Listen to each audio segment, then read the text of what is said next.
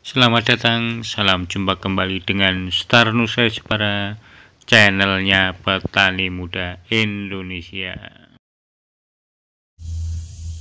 Untuk pencapaian hasil yang maksimal, tidak harus menanam tanaman yang mahal.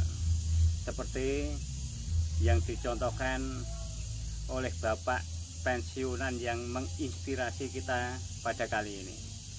Seperti apa? Yuk kita simak bersama. Yuk kita OTW guys, on the way.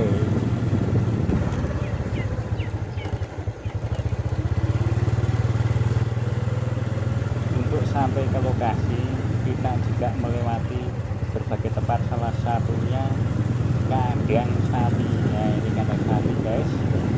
Pernah juara Jawa Tengah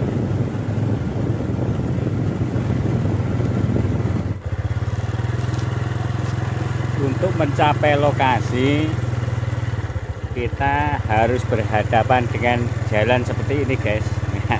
Seperti di wilayah Sumatera atau di Kalimantan di kawasan hutan karet atau hutan kelapa sawit. Ya.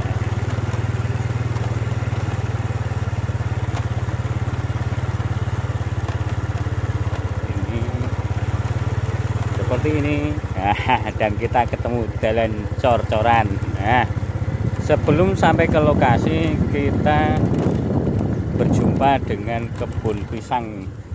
Kebun pisang miliknya tetangga. Eh, tetangganya Pak Mul tadi. Di sini ada kebun pisang kebetulan kebun pisang jenis Cavendish. Hmm. Jenis Cavendish ada gerbangnya. Meskipun bisa masuk kita cukup syuting dari luar. Nah, ini kebun Cavendish. Dan satu kebun Cavendish ini mengalami penyakit. Penyakitnya kalau di Jepara namanya stres. Atau ada yang menyebutnya di kalangan pertanian itu terkena jamur posarium. Nah seperti ini. Daun pada menguning dan buah tidak enak dimakan.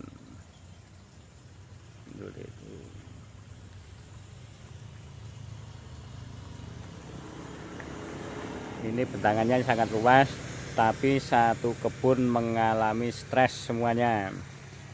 Ini membuktikan bahwa meskipun pisang dengan kondisi bagus ditanam tapi jenis-jenis tertentu harus menyesuaikan. Artinya menyesuaikan tempat bisa jadi pisang mudah stres dan tidak ada adaptif di daerah itu sendiri. Salah satu contohnya ini. Satu kebun sejauh mata memandang. Pisangnya stres semua. Ini Cavendish yang katanya salah satu pisang mahal di Indonesia. Kita menuju ke pisang milik Pak Mul nah, letaknya tidak begitu jauh hanya sekitar 30 meter. 30 meter ya di situ. Milik Pak Mul kita jalan. Ya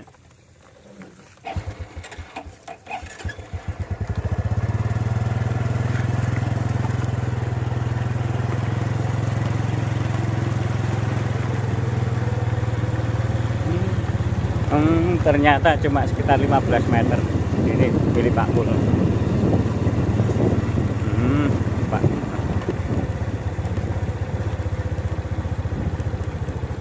Kita sampai ke lokasi ternyata Pak Mulnya sudah menunggu. Hmm, sudah menunggu.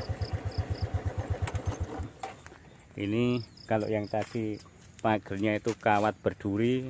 Nah, di sini memakai pohon mojo. Kelebihan pohon mojo itu bisa rapet dari bawah sampai ke atas. Tapi topik kita pada kali ini bukan pada pohon mojo tapi di kebun pisang milik Pak Mul. Nah, itu Pak Mulnya di sana.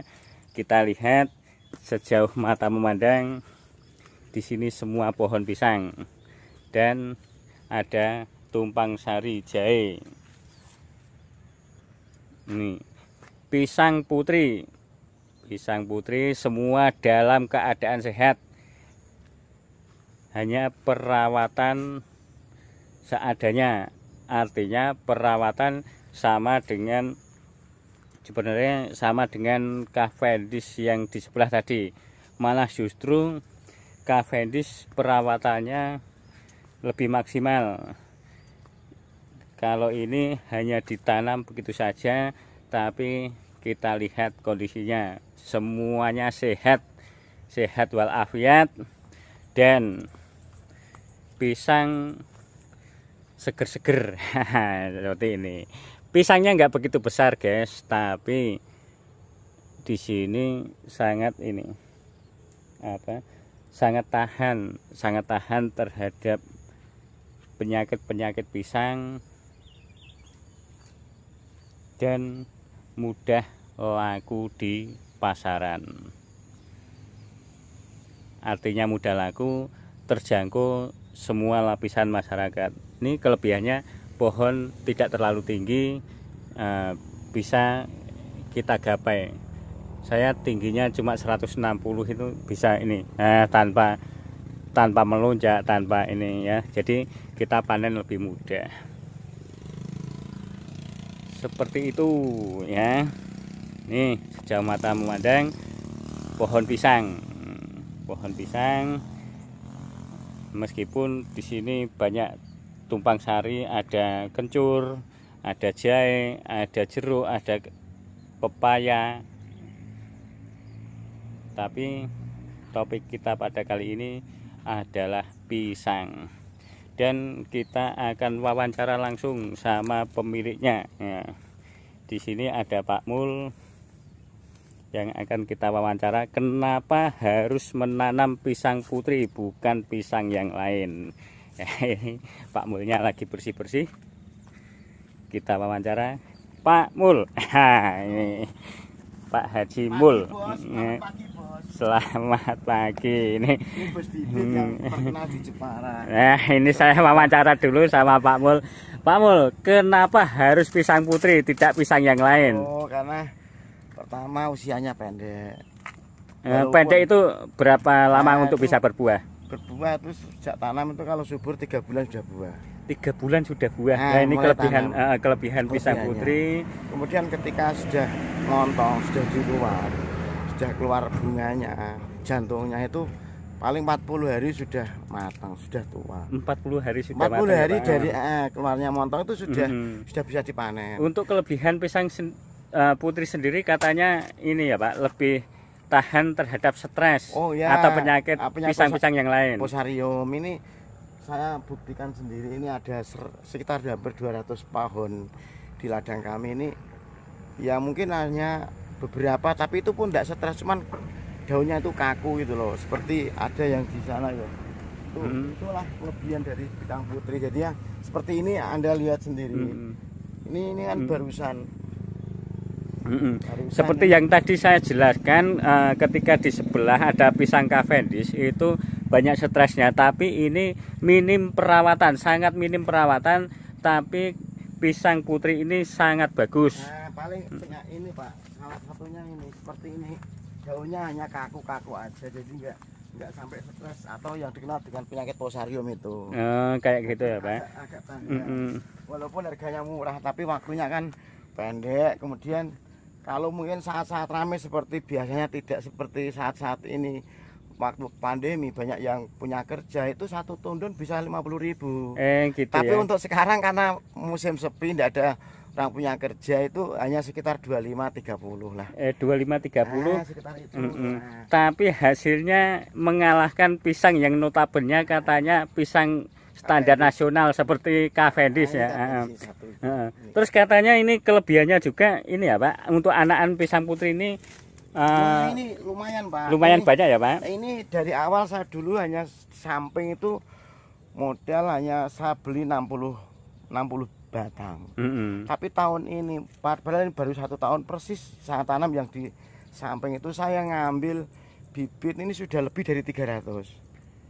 Hasilnya ha, tahun iya. kemarin itu Baru hanya tanam, hanya 60, hanya 60, tanam hanya yang- 60 batang yang, tapi yang, yang pinggir-pinggir Mm. ini yang yang samping pas pinggir Mm. kebun. Kemudian saya tanam di tengah ini sudah ada ratusan. Kemudian yang saya jual sudah ada 300-an. Nah, hasilnya ini satu guys tahun ini, ini meskipun bibit dan pisang Nah. lebih murah tapi Pak Mul Nah, ini ini mampu anaknya. menghasilkan banyak anakan. Anakannya ini bisa 4 5, tapi saat saya sisakan tinggal 2 1 biar pertumbuhannya normal, sehat dan besar batangnya. Kalau dibiarkan liar, anaknya buahnya hasilnya tetap nggak nggak nggak maksimal. Jadi tetap anakan kita harus kita Hmm. buang, kita ambil, kita jual. Kalau laku nggak jual, saya tanam di tempat lain. Ah, gitu ya jadi Nah. sangat menginspirasi banget ternyata ketika bukan hanya hasil pisangnya saja tapi Pak Mul ini juga menyediakan bibit dari hasil kebun yang mulanya cuma menanam 60 batang ini. Dan bahkan pada satu tahun terakhir ini dari menanam sudah menghasilkan 300 bibit. Mm, 300 lebih malah justru. Kan dan menariknya lagi. Ya, banyak menariknya ini. Mm. Pisang putri ini meskipun bibitnya harganya murah dari pisang-pisang lain tapi menghasilkan banyak banyak bibit jadi hitung-hitungannya itu tidak kalah sama jenis-jenis bibit pisang yang mahal jenis pisang. Heeh, yang mahal itu bibitnya bisa sampai 20.000 tapi di pisang putri kali ini bibitnya hanya sekitar 5.000 sampai 10.000 termahal itu 12.000 tapi mampu menghasilkan tidak kalah dengan jenis-jenis pisang unggulan lainnya. Ini yang Mm-mm. Seperti ini bisa kita lihat pisang-pisangnya semua berbuah. Dan saya eh saya yakin Pak Mul juga yakin bahwa pisang putri ini pisang yang paling termudah untuk ditanam untuk di wilayah Jepara. Mudah berbuah dan untuk suguhan orang punya kerja itu sangat cocok praktis. Karena untuk tidak suguhan ternyata Pak, ya, yang paling cocok ini pisang ini Ah, tidak begitu besar tidak mahal, tidak mahal dan rasanya tidak sangat-sangat tidak kalah dengan pisang lainnya. Nah, biasa. Demikian kunjungan kita ke kebun pisang Pak Mul pada kali ini. Semoga ada manfaat, manfaat buat kami pribadi dan manfaat buat pengunjung channel pada umumnya. Terima kasih dan pastinya salam hijau.